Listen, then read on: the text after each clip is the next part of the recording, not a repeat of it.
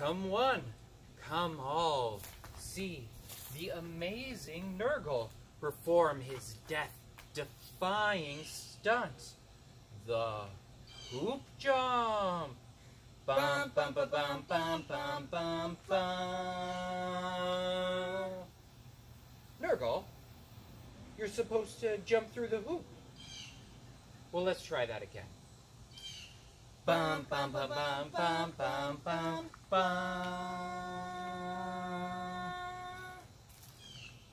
Well, we might need to work on that. Well, friends, welcome to the first day of At Home VBS, and thank you for joining us in our backyard circus. Hopefully, you have some quarantine friends with you at your own circus. You know, when you visit the circus, there are a lot of fun and interesting things going on. And we are going to be spending some time this week talking about some of those things. As you might have guessed, Pastor Mary and I love animals. So to start this week out, we are going to be talking about some of our favorite stars of the circus, the circus animals. Animals are intelligent and talented creatures that add a lot to any circus. God made all kinds of animals. Some animals have scales, some have feathers, some have wings or lots of legs, some animals swim in the ocean, and some live deep underground. But no matter how different they may be, all of God's creatures make creation a more interesting, more fun place to live. You know, the Bible tells us kind of a lot about animals too. Sometimes in the Bible, animals are there to teach us something about our God. And other times, our God will tell us a story about animals to teach us something about us and how we are supposed to be as followers of God. We are going to hear about two biblical animals today. First, we'll hear the story of Daniel in the lion's den, one of the stars that God tells about in the story that is in the Bible. We'll hear about how Daniel was a person who put his life on the line for his faith and showed God's power for peace by walking into a dangerous situation. Of course, it's not all danger at the circus. And we know that we have a God who loves all the creatures of creation.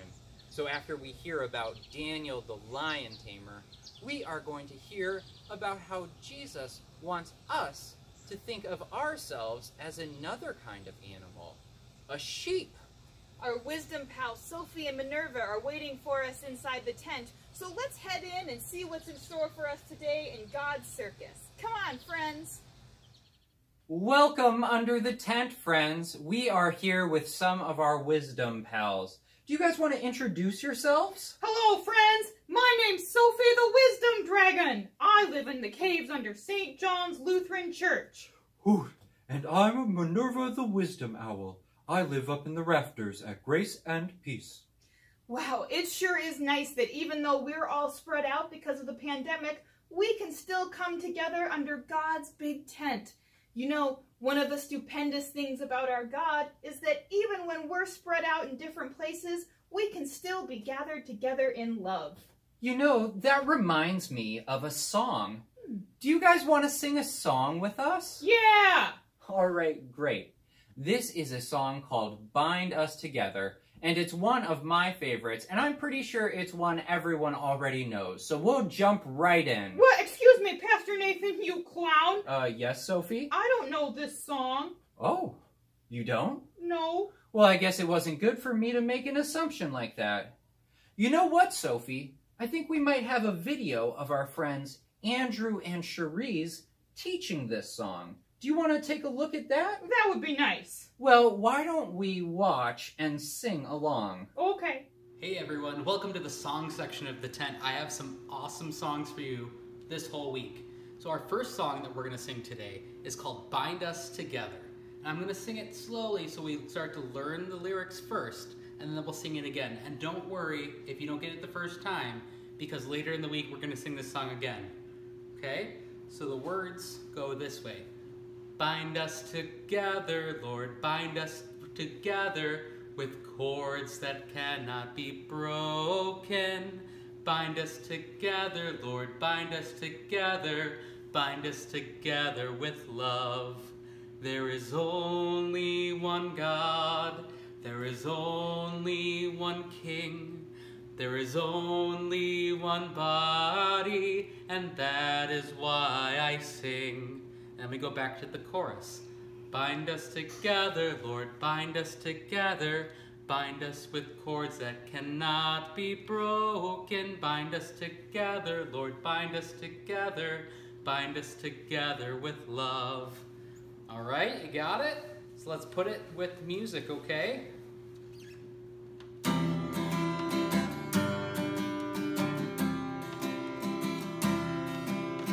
Bind us together,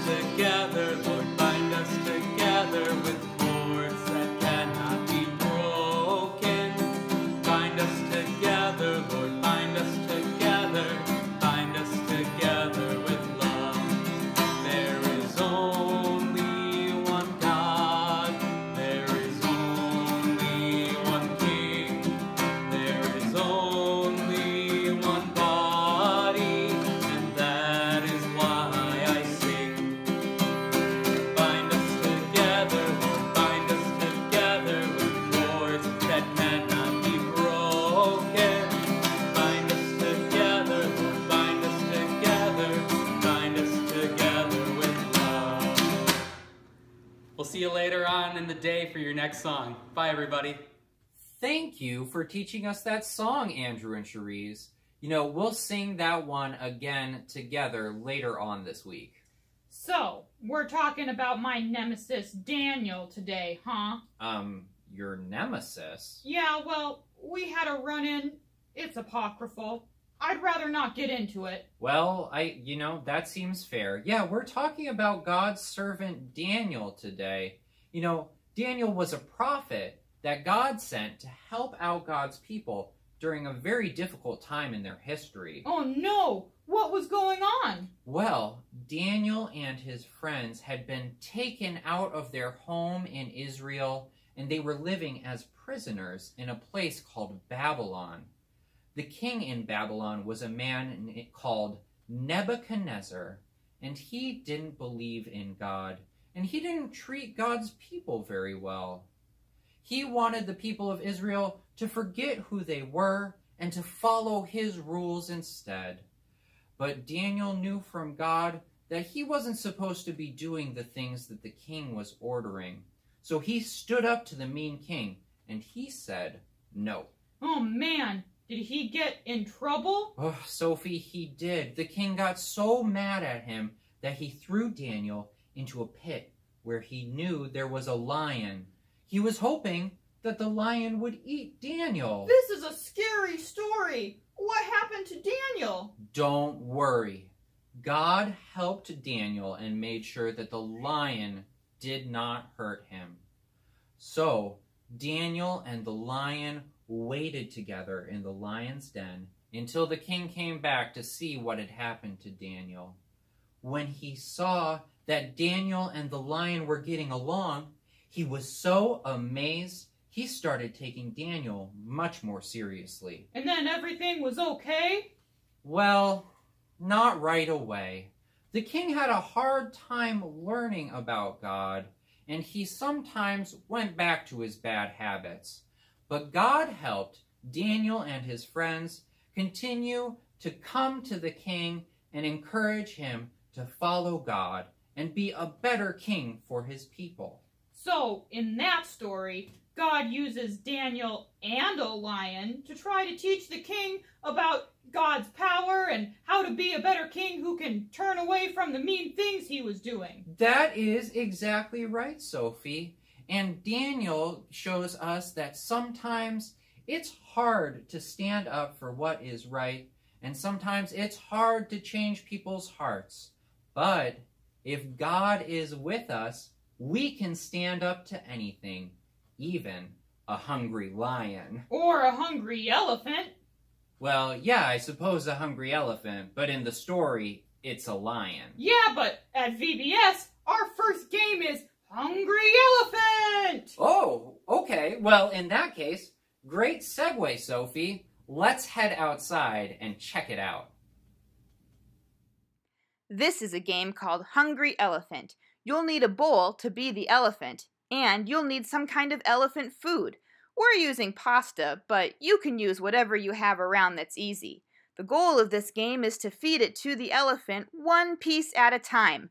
If that seems too easy, there's lots of ways to mix it up and challenge yourself. You could try out a silly walk, for example, or you could try feeding the elephant while hopping on one foot. Another good way to challenge yourself is to take a look in your kitchen for other ways to carry the elephant food. You could try chopsticks, or a spoon, or tongs, or even a big fork. No matter how you end up feeding the elephant, Make sure to have fun and be careful, and try not to drop any of the elephant food or you'll have to start over. If you're at the circus with quarantine buddies, try turning it into a race. When all of the elephant food is gone, the person whose elephant ate the most will be the winner. But in God's big tent, we all win. Have fun, friends. Root. Root. Minerva, what are you doing? Well, when we were outside, I saw all the circus animals, and they were so marvelous. And I was trying to be more like the lion, with the bravery and the big roar. Roar, hoot! Roar, hoot! Okay, and how's that going? Well, you might be able to tell I'm kind of having a hard time with the roar. It keeps coming out as a hoot. Roar hoot. Roar hoot.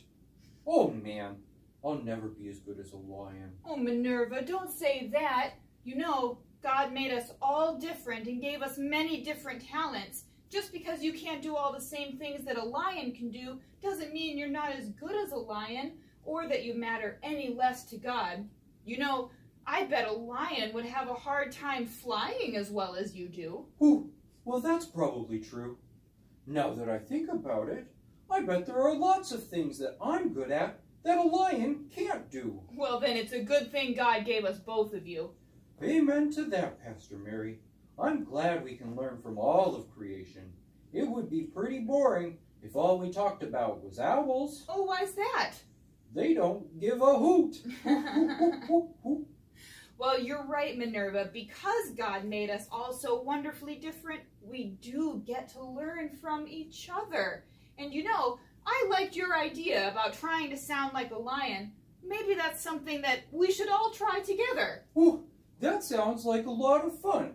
You know, I was having trouble with the lion, so maybe you better show us how that one is done. Okay, well, whew, let me just see if I can, gotta, gotta get centered and, and find my my lion, get in touch with my inner lion. Hmm. All right. Ready? Okay. Roar! How was that? Oh, that was that was terrifying. Let me try. Okay. Roar, That one was pretty good. Oh, thank you. I'm thank definitely you. getting some growl in there. Let's try it all again. You know, why don't you guys help us out? Will you roar like a lion with us? Let's all give it a try. Ready, Minerva?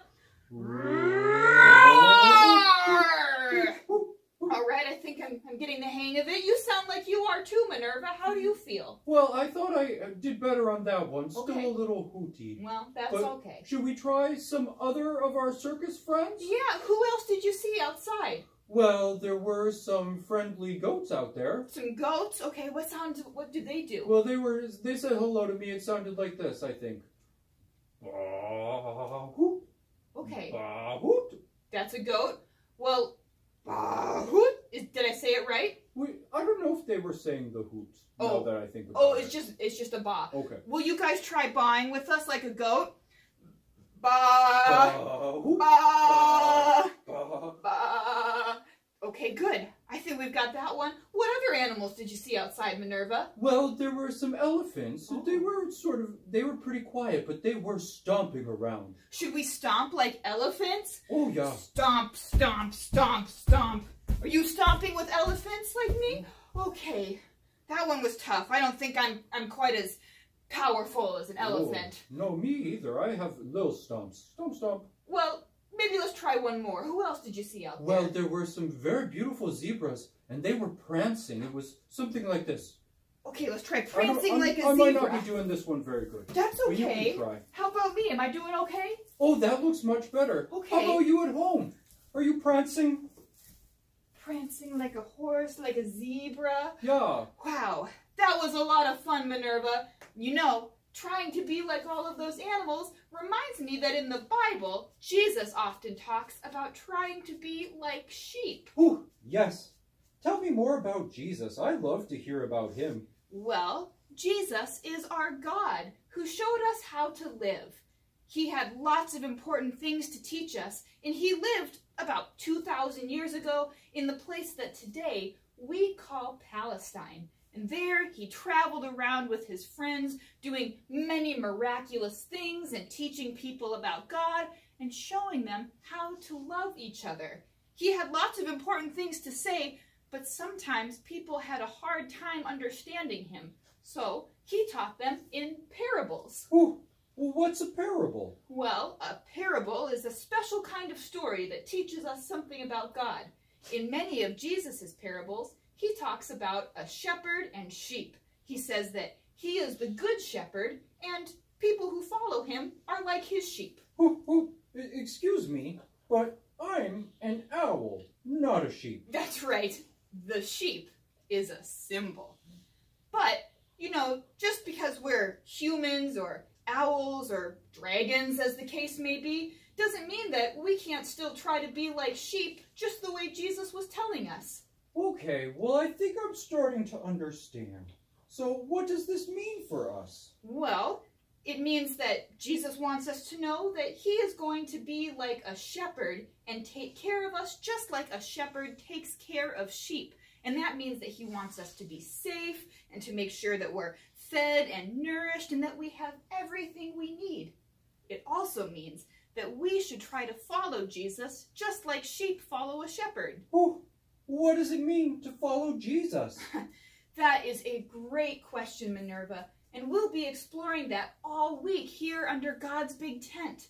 But to follow Jesus means that we should try to live the way God teaches us to live. And that means having faith in God and loving the creation that God has made. Well, that sounds pretty straightforward, but it might be a good idea for us to pray for God to help us this week as we learn about it together. I think that's a great idea, Minerva.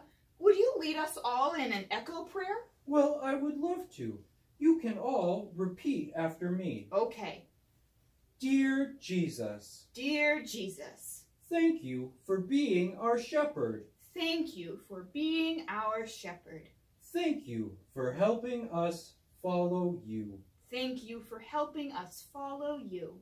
Help us love each other like you love us. Help us love each other like you love us. And all God's children said, Amen. You know, Minerva, before we leave behind the subject of sheep, I think our friend Cherise has a fun craft to teach us to do. Should we take a look? Yeah, hooray! Hey everybody! Welcome. We are going to make a puppet today. So we're gonna make a sheep. It's really easy. All you need is a brown paper bag or whatever you have, a paper plate, whatever. One white piece of paper, construction paper, notebook, printer, doesn't matter. Cotton balls, just a handful. You'll need glue or tape or something, and then scissors. And then I'm using a pink and black crayon, but you can use markers or whatever you have at home. So, to begin, we are going to draw the ears, arms, and the mouth. So, the ears and the mouth are just a leaf shape. So, the ears are going to be the same size. So, two smaller leaves, and then one bigger one. And if you make them too big, it's okay. You can cut them down. And then the arms are just gonna be long, skinny rectangles. Okay? And then you go ahead and cut those out. I already cut mine out. It's okay if you see like the black crayon because you can just flip them around. So that way the crayon's on the back. Not a big deal. And if they seem too big, like when you go to put them on your puppet, just trim them down. So first, we're gonna put on the ears. Just a little bit of glue on the side that, that is going in the paper bag. So, just like that. And it's gonna go in the fold. So open up the bag and stick it in that fold near the top. You can always readjust it. Kind of the nice thing. All right, let's do the other one. Open up the fold, put it in there, push down, make sure they're stuck. I like to give it a wiggle test. Wiggle, wiggle. Okay. Arms. Again, if you see the crayon, you can put it in the back. Doesn't really bother me um, you can do that. Stick those in there. And they should go like just right under where the fold meets on the side. Let's do the other arm. Okay. Okay. For the mouth, you're gonna take that big leaf shape and you're gonna cut a triangle out of the bottom of it.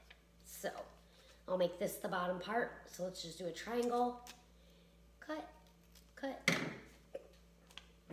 And then see, I made this side really pointed, so I'm gonna round this off a little bit. So, it'll have a little cut out of the bottom. Okay? And then put glue on that. You're gonna stick that on the bottom of the flap. So that's gonna be like the top part of the mouth. And then you're just gonna cut a little like semicircle out of the extra paper. And you can cut it down too if you need to. So, okay, like that. And put glue all over that because that's gonna be the bottom of the mouth. So that is gonna go inside the fold and just match it up so that way when your mouth opens, it matches up. Okay, so to do the crayon for the mouth, you're just gonna draw a little V for the nose, bring the stick down, and then you're just gonna trace another um, triangle there, top of a triangle, where you cut it. Okay, add pink for the mouth, like where the tongue, mouth area is. Add some pink for the ears in the middle. I just drew another little pink leaf inside. And then I colored the ends of the arms, like so that they're hooves, um, like a sheep would have, like that. And then if you have Google eyes or stickers, you can use them, but I'm just gonna draw my eyes. So you can just draw your eyes on, whatever you wanna do. And then here comes the fun part, the cotton balls. I put a line of glue across the very top, and I stick cotton balls on there. And then you're gonna stick them on the belly. So just do a big circle of glue where you want them on the belly. Or you could do the whole body, you could do them on the arms, whatever you wanna do, it's your sheep. I think the sheep is really fun to do because you have all these cotton balls, but you can do elephants, tigers, and wiggle test. I think we got it. All right, let's see. Look, it's a sheep. All right, we'll see you next week and enjoy your puppet. Wow, we've sure had fun together under God's big tent.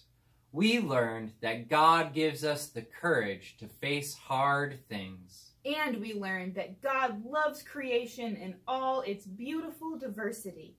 You know, that makes me think of another wonderful song. It's called He's Got the Whole World in His Hands. I think we have a video of our friends Andrew and Cherise to help us learn it. Let's listen. Hey everybody, welcome back. I have another awesome song for all of you. This song is called He's Got the Whole World in His Hands.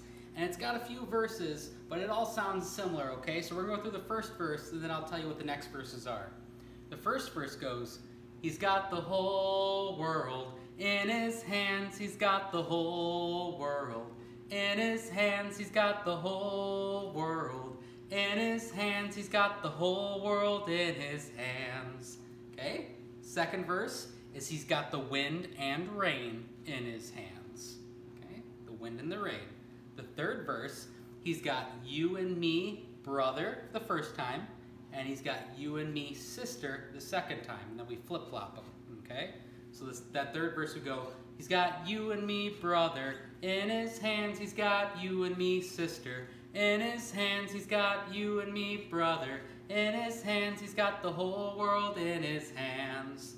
Okay, the fourth verse is, He's got the little bitty baby in his hands. And if you don't do that, you're not doing it right, okay? So he's got the little bitty baby in his hands. Okay, and then the fifth verse, the final verse, is he's got everybody in his hands. Okay, so can we try it all together? You ready? Gotta get up. Stand up when you sing this song, okay? I really want you to sing it out loud.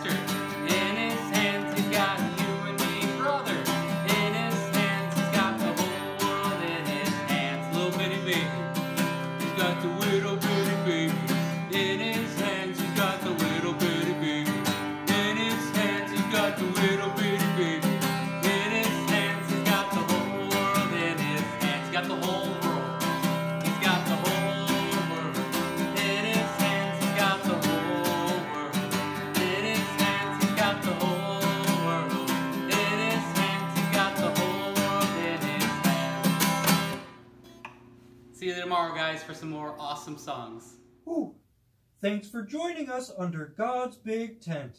See you tomorrow. Wait, so tell me again. I'm a dragon, but I'm also a lion? Ooh, no, I think it's part owl, part sheep. Hmm, what, pastors? What was the takeaway again? Jesus loves you.